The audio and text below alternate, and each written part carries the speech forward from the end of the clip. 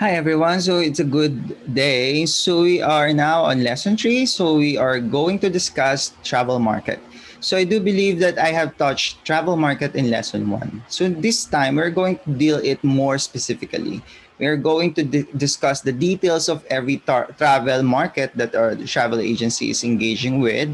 And these are, uh, of course, we are going to enumerate and identify the pros and cons or the advantages and disadvantages of working to a specific target market or a specific uh, clientele type. Okay. So as well as, uh, of course, we're going to touch as well the product, which in this case, since we are a travel agent and tour operators, we are dealing with the destination as our product. So what are what, what are the criteria that we're going to use when we are recommending for a product to our client? And again, as a travel agent or tour consultant, we play a very vital role in the decision making process of our travelers. So it's very important for us to have this kind of working knowledge so that our recommendation leads to a better uh, satisfaction and, of course, a worthwhile travel experience for our client. Okay, so let's proceed. So let's proceed. So, hmm, okay. So we're on this lesson again. We are going to discuss it part by part. So this lesson is also composed part one and part two. So let's discuss the outline first. So these are the outlines. So for our discussion, we're going to first deal or recap the travel motivators and the motivators. Again, discussing lesson one, just a recap. And of course, the tra- travel market typology. What are the different types of market that we are dealing with. And of course, uh, the essentials of the tourist destination. We're going to discuss what makes a tourist destination the ideal destinations for your clients and, and for a particular group of target market or a target tourists or target uh, travelers.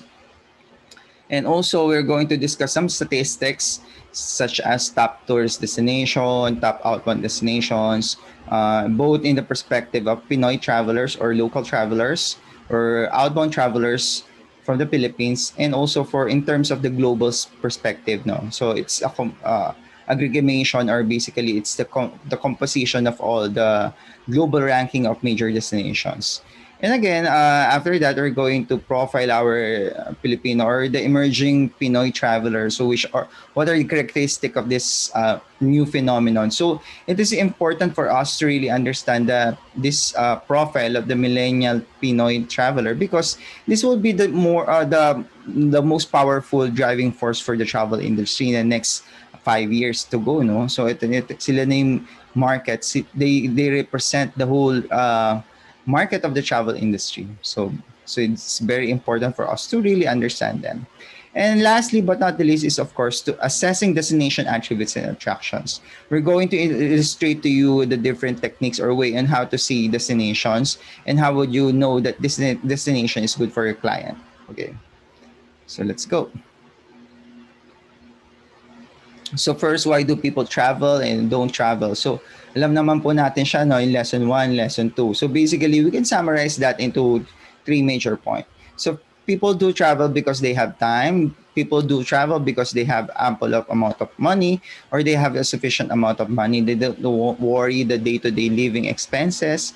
So they have basically a discretionary or disposable income that they can use for travel and for this kind of leisure. And lastly, but not the least, of course, they have the of course the interest to travel of course if you don't have the interest to travel we're not talking here any, anything because if you do have the time if you do have the money but again you don't have the interest uh, wala tayong pinag-usapan so may mga kilala naman tayong mga tao na may pera naman maraming oras pero they don't travel because they would like to stay on their safe the safety of their or the confinement of their house or home or or kanilang lugar no so ayaw na nila lumalabas And for major travel demotivators, likewise, di ba? So ano ba yung major travel de- demotivators natin? Again, wala kang oras. Again, you don't have a uh, spe- or money to spend with. So that's a major demotivator. And also, again, of the current pandemic, safety. Okay, so these are some of the major concerns. Okay, let's skip that. Next. So uh, in our this is a major meat of our lesson. We're going to discuss the two major component or the three uh, the two major distinction of a travel market. So again, I have categorized them into two. We have the individual buyers and organization buyers. Bakit? Kasi the individual buyer, again, they buy on their personal needs and wants. So basically, that's on their discretion as a person. While the organization buyer, they don't buy based on the needs and wants of the buyer, but they buy based on the needs and wants and strategic goals. So rather than needs and wants ng company, no, wala naman kasing gano kasi they're not a person. So there, we're, we're talking here to the strategic goal of a company or organization. So a company could uh, be a private company, it could be a institution, uh, education institution, or a government entity. So hindi siya company na, government entity. So we call all of this as organizational buyers. Okay. So let's let's compare the difference between the two. First, I have the example. That's me, Mr. Archel. I'm an individual buyer because I do travel. I have uh, you know those characteristics that uh, one might possess to be motivated to travel. So meron naman ako noon. So nakikita naman sa akin no. Now for organization buyer, my example would be the school or university because they are requiring some student to go to abroad or requiring um, training and OJT abroad sa mga ibang university. Now, for companies, of course, they are sending people for business trip and etc. Ngayon lang natigil yan because of the current pandemic. Okay, next. For individual buyer, the buying decision process is very simple. Do you, do you like it or you don't like it? Okay, that's it. So now using your uh, self-analysis or self-introspection, whether you like it or not, you will form your decision. Now, for an organization buyer, it's quite complicated because uh, they have to discuss that in a technical working committee or there is a technical group or a lower level management and then the proposal will reach to the top uh, to the middle management and after they're securing the approval of the middle management they are now proposing that to the top level management for approval. So there is a tier level thinking here. So there are there is a process of thinking. And of course, all of this are related to their strategic goal. Let's say the company is let's say for the school. The school would want to have a international trip. So which destination is this? So syempre, uh, yung teacher, the faculty members are going to think for a good destination that will be uh, conducive for the learning experience of the student. No, so they are coming to a brainstorming activity, etc. They are suggesting, uh, and this proposal will going to be sent by the uh, chairperson to the dean. The dean will, uh, of course, uh, see to it that it is compliant with the educational mandate of the institution, and of course, this proposal will again go with the vice president and president, and finally for the approval. So there there is a what we call tier level approval for their buying decision. No? So it's not as simple as the individual buyer that you can purchase it on your own based on your own needs and wants. Sa kanila hindi. There is a process. There is a thinking, uh, tier thinking decision making process. Okay. Next, Of course, since uh, I'm an individual, it's simple. So my approach will be very direct. Is that expensive? No. Okay. Uh, is that what I want? Yes. Okay. Then I buy. So ganun lang siya. Very direct. Now for a organization buyer, you cannot say that because of course there is a tier level process. No. So the planning, the execution, and and the, the final decision is dif- uh, comes from a different level, no, different uh, person point involved dito. So of course, uh, the approach for whether to finalize or not is of course as complicated as their planning stage. So in this um, level, they're going to have protocols, and of course, you have to check for the regulation. So if it's a government entity, they have to check whether or not they're compliant with the Procurement Act of the Philippines. Kasi syempre, these are government institutions. So if you're not a government institution, of course, you should be compliant with the protocol of your organization. Let's say this is the protocol uh, mandated by your organization, or these are the mandates or policy proposed or mandates or policies being followed by the institution in compliance with the CHED or DepEd policies. No, so medyo they have to look with uh, look into consideration with that factors. Okay, next. uh, for people who are individual buyers, they often compare prices. They're making canvas, no? Yung canvas kasi natin, normally, you can compare it using online. Mura ba sa online or mahal? So, ganun lang siya. Even now, let's say, di ba pandemic ngayon. So, pag bibili ka, kino-compare mo muna online tapos sa yung yung typical shop dun sa market or sa department store, then you can see the difference. Which one is more, much more cheaper. Nowadays, madali talaga mag-canvas, no? Kasi we have the technology. You can also uh, always check prices or we could check prices na mas madali. Kasi we have Lazada and Shopee, no? So, madali natin ma-check siya. Just like that, and travel is also easy to check kasi lahat ng information nasa internet. Dali mo siya ma-check. Now for uh, organization buyer, hindi po ganun kadali. They undergone bidding process. So bidding process. So I'm not saying lahat sila, but most of them will undergo with the bidding process. Especially if you are dealing with or uh, business organization na medyo rigorous talaga or if you're dealing with a government entity. So kailangan may bidding talaga, pababaan ng price. So ganun siya. Uh, it's a standard protocol kahit uh, sa ka malalaking kumpanya or mga government entity, may bidding talaga nangyayari kasi that that ensures the competitiveness of their of their price kasi baka masyadong mahal na may makuha nila, 'di ba? So that ensures uh, discount that ensures the price of the travel agent or the tour operator is indeed competitive and also they will maximize the also the um, makakatipid sila because of that. Okay. Next again, individual buyer, uh, their purpose is again for personal satisfaction. For organization buyer is more of the corporate objectives. Again, uh, individual buyers goal is to, uh, of course, uh, ano? So pag travel agent ka, nagde-deal ka with individual buyers, of course, we will have minimal profit kasi these are very competitive or tinatawag natin siyang red sea, no? Or hindi siya hindi ka makakapag uh, markup masyado or hindi ka makakapag-generate ng profit or hindi ka pwede magtumubo ng malaki kasi mawawala yung customer mo because they have the power to compare prices and they have the power to uh, look for uh, another travel agency. Hindi lang po ikaw yung travel agency. So the tendency is of course, you, you cost them at a very reasonable or very minimal price para bumalik-balik sa'yo. Now for organization of buyer, substantial in profit. And of course, the cost kasi malaki talagang kita, malaking kita mo because of the bulk, no? So yung power ng purchase nila, it's marami. So also, of course, dahil malaki yung profit mo, malakas, mala, mala, malaki din possible loss mo pag pumalpak or pag may something strong or let's say may issue siya. So, of course, profit is the other side of loss or cost, di ba? Ganun siya. So, if you have profit, of course, there is a tendency for you to lose your money or to lose capital, di ba? Ganun naman siya.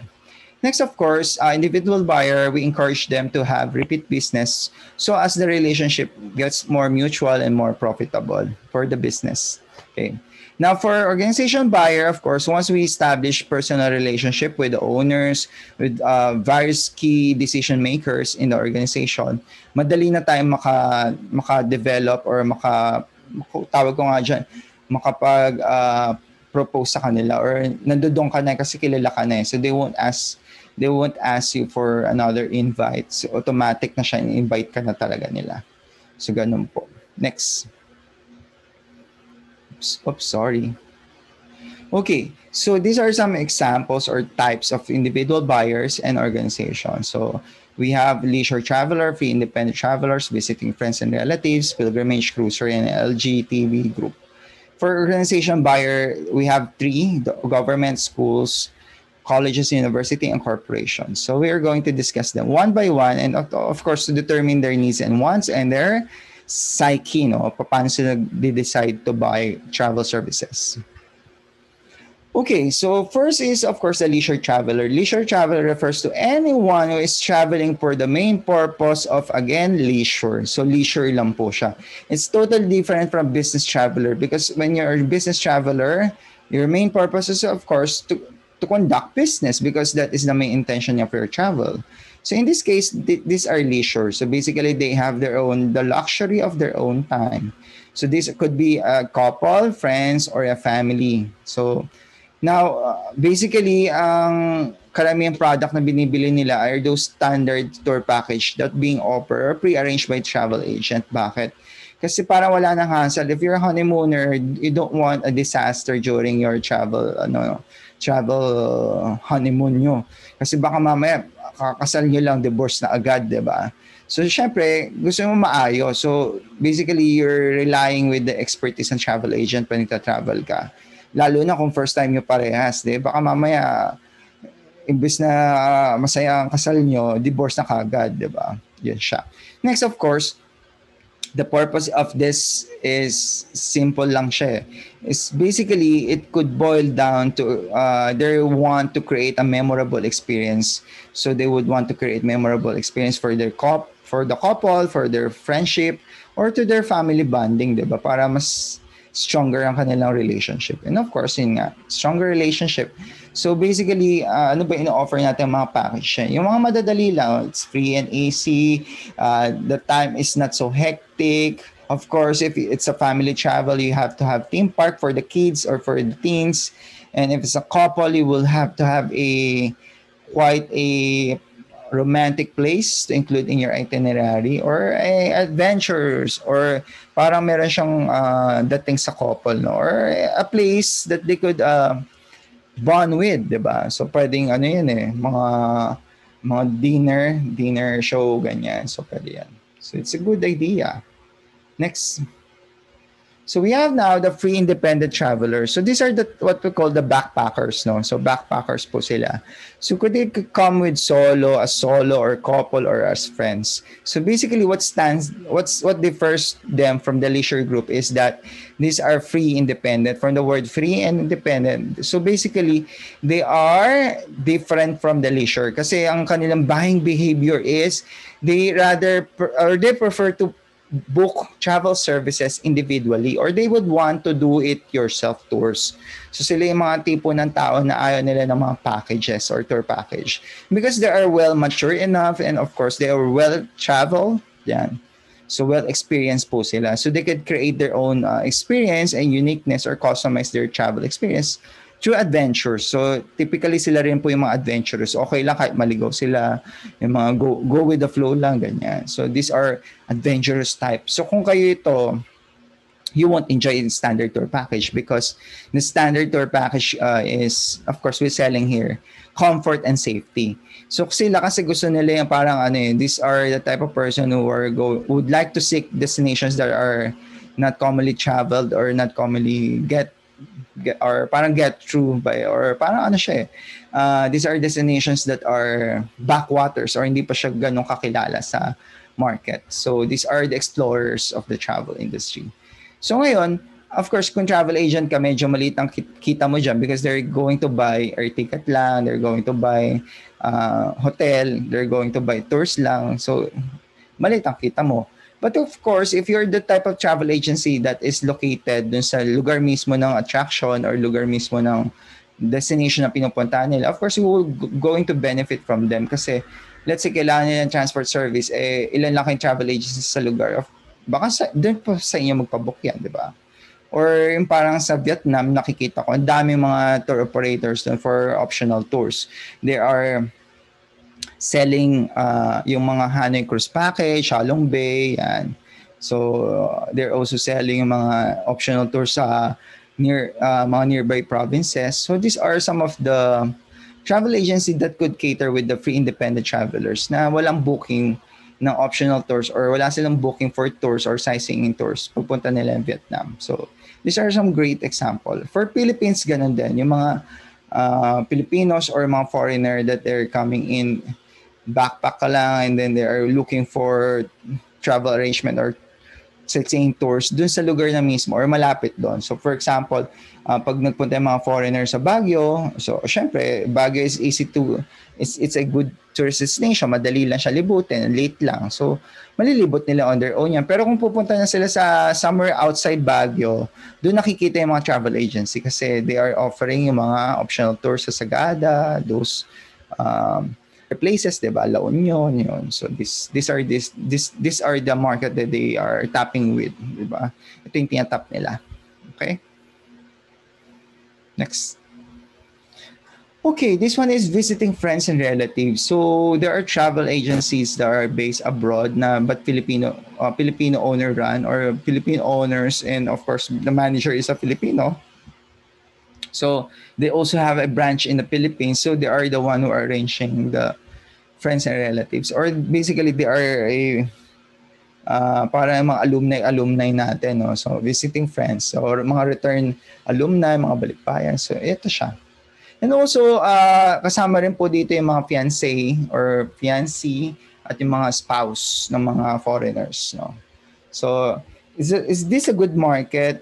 Yeah, it's a good market and it's quite specialist, no? Specialist siya because they, uh, ang marketing po natin dito is mostly through word of mouth.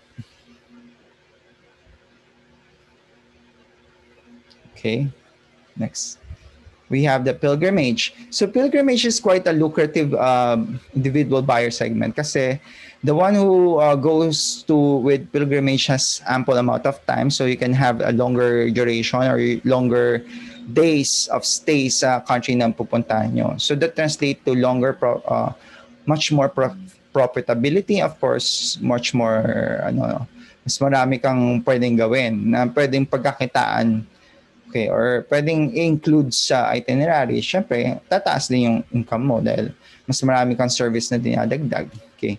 And also, this is, of course, hindi siya pang lahat, no? Hindi siya pang masa.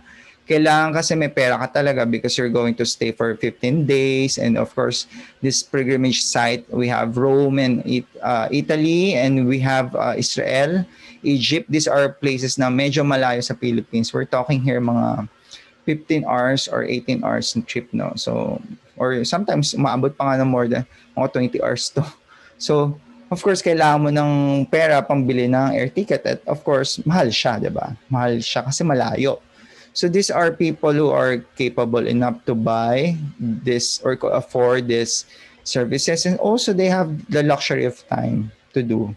So normally mga nagpipilgrimage sila yung mga uh, number one, sila yung gusto talaga nila magpunta sa lugar na gusto, uh, spiritual place na yan, spiritual journey, kahit isang beses sa kanilang lifetime. So, ito medyo well-prepared talaga silang gumastos. Saka, of course, they uh, there are much more uh, experienced tourists kasi wala naman po nag-pilgrimage na first time niya nag first time niya nag nag-travel walang gano'n no so pag nagpi-pilgrimage sila normally may expectation na sila na dahil kasi nag-travel na sila or nakalabas na sila ng country. So ikaw, yung first travel mo, hindi naman pilgrimage yan. So normally, you, you go for the leisure component. And then eventually, as you mature, you're going to, of course, baka gusto mo na i-try ang pilgrimage. So sabi ko nga dyan, pag ang traveler medyo nagkakaedad na, nagiging pilgrimage na, nag nag nag uh, nag-join sila sa pilgrimage. Totoo yung kasi if you map yung kanilang demographics, karamihan ng mga lolo, lola, nanay, tatay, pilgrimage, 'di ba?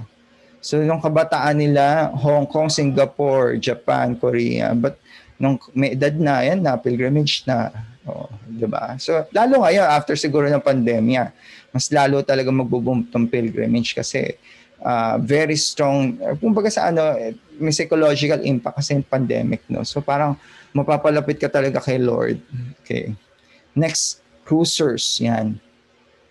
Cruiser is also a, a very luxurious ano to, market segment. Kaso ang problema natin, hindi lahat ng travel agency could tap in with the cruisers kasi uh, itong mga cruisers na to, sa loob pala ng barko, ala na. Kasi ano na sila eh, capture market sila ng cruise line. Eh. So, example, lahat na mag-arrange ng tour dyan is basically the contact of Royal Caribbean or yung cruise line in charge, let's say Genting Cruises.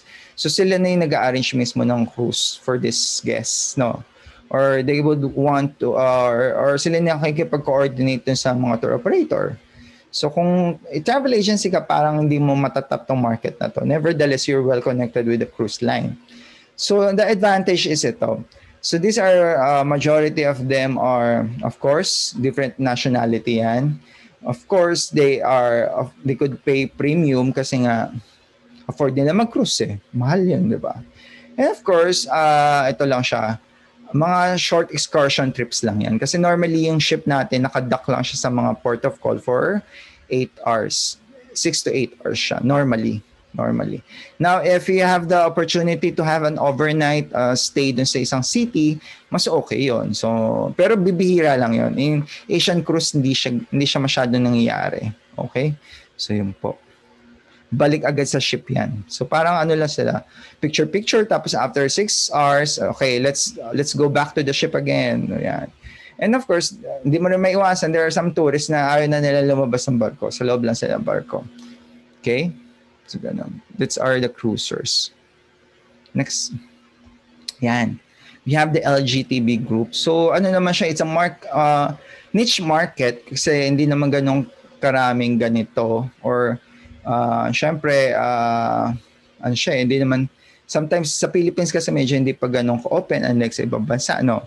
So, LGTB group is quite a market niche for other destinations or other uh, travel industries abroad kasi they are special group in a, in a way that they have this unique needs and wants that are not uh, parang special or there is a need for them to to be arranged uh, individually. So basically, these are the group na hindi sila sasama sa regular jam-packed tourist bus natin. So because they would want to have privacy. So basically, their highest priority is safety, security, and privacy. So for example, these are, yun nga, syempre, these are same-sex couples. So mas gusto nila yung hindi sila na-judge or hindi sila masyadong exposed. Baka hindi pa kasi tanggap ang kanilang relationship, and those things, no?